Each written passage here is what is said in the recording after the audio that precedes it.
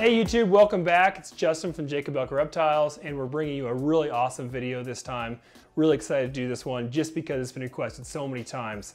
But before we get to that, I want to talk a little bit about the contest we had in our last um, video. So most of you noticed it, I couldn't believe it. And the last part of the video, as the credits are rolling, is the Batman video.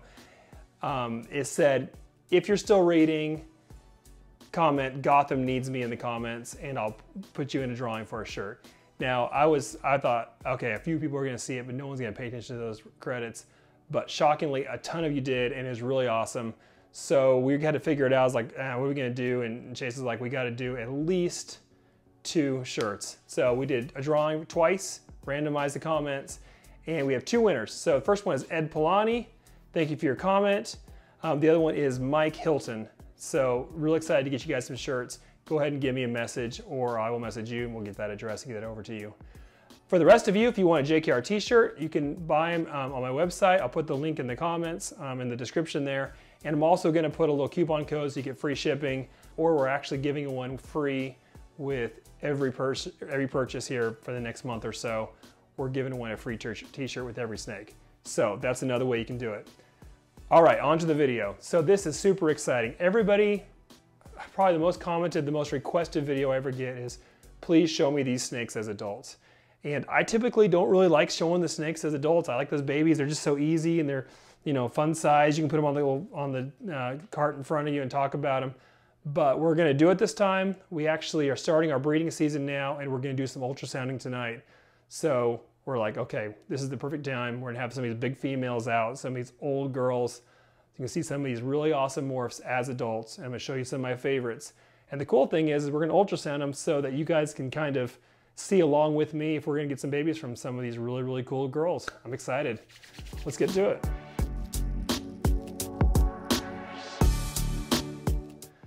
All right, guys, so we totally messed that one up. We totally cheated. So we were supposed to do some videoing while we were ultrasounding, but once you get going, it's just impossible to pull out the camera on every different girl. So we just knocked out the whole room, looked at everything, and now we're gonna go back through and show you a few of the really awesome highlights. Super excited, the season's off to a really, really quick start. So let's look at some of those girls, and I'm sorry in advance, I'm losing my voice a little bit, so that might start deteriorating a little bit. We just did a whole ton of talking, Chase and I, between every single girl talking about what our plan with her is, where she's at, what the next step is. So this is an exciting night. I'm gonna bring you in on it now.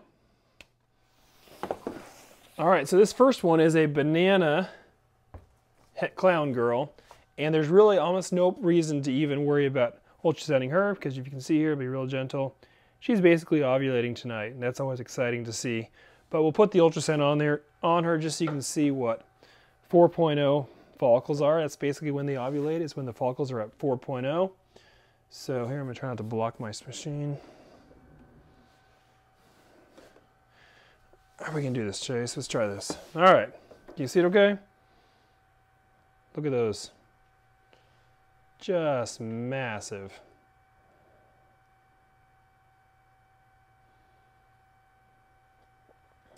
They're really pressed together almost to the point where they're kind of square because they're pushing each other together so hard.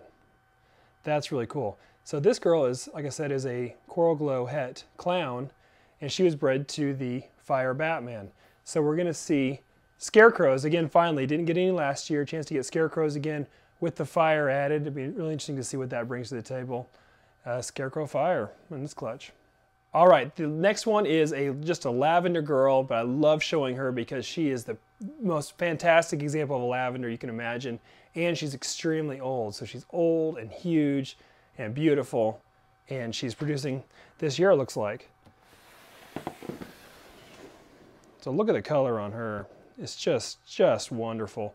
And if we can get a, a sense of her size, really, really, really big girl. Just huge. Really, really wonderful color. I hope it shows up well on the camera. Now we had her at 2.0 follicles and we're gonna go ahead and show her, show you what that looks like here. So she's going this year and she was just majorly stacked with follicles. So we're getting ready to put it on. Here's the midline right here. We're gonna go just about a few inches below that and there they are. It's super easy to see. Look at that. And she has so many in there, they're stacked kind of on different levels. You have upper ones and lower ones. You see there at the top, you can see the uh, reflections, the refractions from her spine. Check that out. Beautiful. So exciting. There's two, two right on top of each other, four right a group.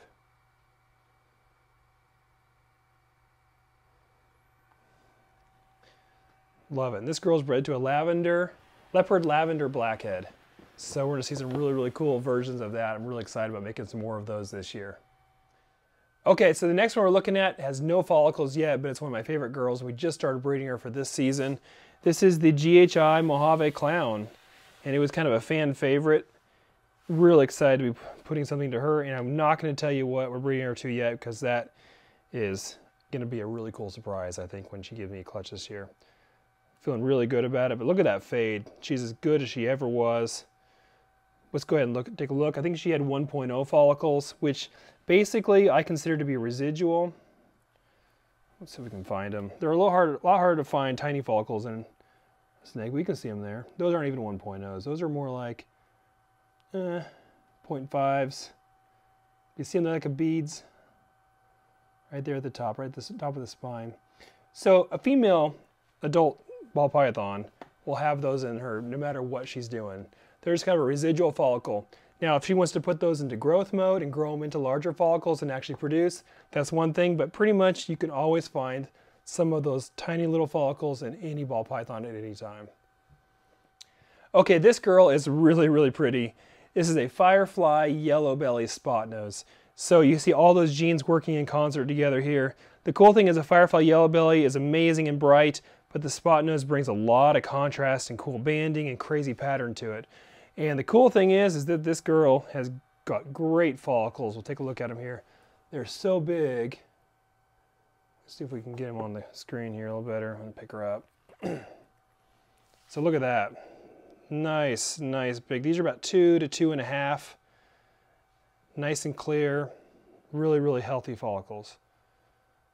She is doing amazing. All right, we're not gonna ultrasound this one because I just did and there's no follicles in her, but she is absolutely beautiful. This is the adult female Batman.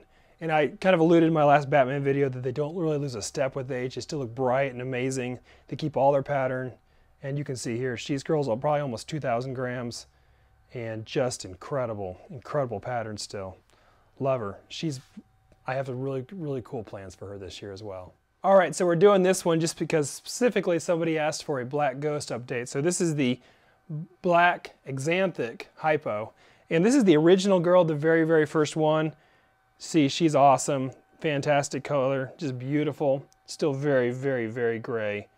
And when we ultrasounded her tonight, we found that she had really, they're, they're about one and a quarter to one and a half. Some of them are bigger than others, but look at those.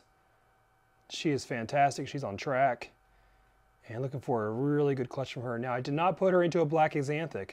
I'm using her to make some uh, really long-term, amazing uh, combos that we'll see three, four years from now is where the, uh, the results from this clutch are going to come. So here's another girl that we haven't actually started breeding yet, but I just wanted to show her because we get lots of questions on the adult desert ghost stuff. And this is actually a spot nose hypo desert ghost adult female. She's proven she bred last year and she is just incredible. Look at this color. So the hypo and the Desert Ghost, you know, I got the hypo stuff from my Desert Ghost. It was mixed in from the very beginning. And um, so I got really lucky and actually got them together. And it's not appearing a, a thought that I would have gone to go for the Hypo Desert Ghost, but now that I've grown these up and I've seen them, they're just incredible. And I think anything Hypo Desert Ghost is a fantastic direction to take it just beautiful. All right, so my voice is getting a little bit less with every one of these, but I want to show off a few more. This is the Pastel Highway Pied, another proven girl. I've not started yet breeding her this year, but I love the color, love the pattern on these. Just incredible. This is the Pastel Highway Pied. The Highway leaves tons and tons and tons of pattern on the pied, which is amazing. Cannot wait to make a few more of these this year. Looking to add enchi in it ideally, OD, you name it. Love it, love it. Okay, so this is an enchi clown and just a really, really, really bright, beautiful example. Fantastic head. And we'll put her on the ultrasound here and show you. We're super excited. This should make, I'm gonna give you a little, get a little bit away here. This should make some red stripe, enchi clown combos, a couple other little things in there. And I've not shown any red stripe clowns yet, but they're coming, they're incredible. Let's check this out.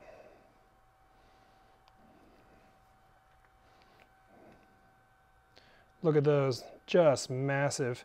So we're about three, almost 3.0, which means we're about a month away from ovulation, which means we're about 140 days from seeing that baby right there. Can't wait. Pretty exciting. That girl doesn't take much into a girl like this to make something incredible. All right, a little less of my voice on this one, but this is a pastel yellow belly Gene-X Pied. This is showing you that even at three years old, they still are amazing, amazing, amazingly bright. And that's what the Gene-X brings in. Incredibly, incredibly bright. This is a big girl. We'll start breeding her probably later this year. Love her pattern, love her color. Gene-X is just incredible in pies, and it's been a really, really awesome gift, something that I've enjoyed figuring out all these years and now getting to share a little bit with the community this year. Okay, Fire Batman. This is a yearling girl, so probably about 1,200 grams. I just wanted to show her color. The fire is fantastic in any pretty much any mutation because it lightens with age, gets brighter and brighter. And in the Batman, it just makes it really, really, really glow. Even with size, that head is just incredible. Really, really beautiful girl and amazing to watch her grow. This is last year's baby. She's right on track, doing amazing.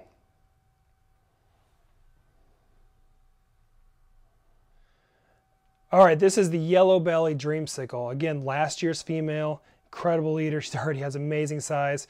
We're not breeding her yet or anything, but I just want to show you this color.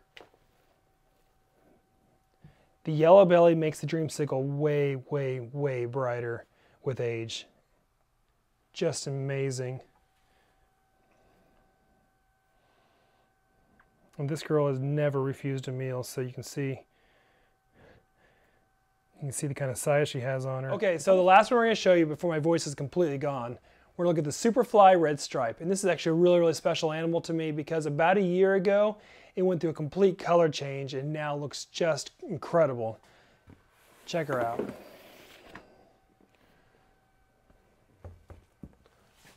So she turned, what happened is as a baby, she started getting white on her side.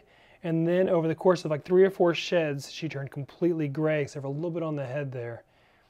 But her color is just unreal.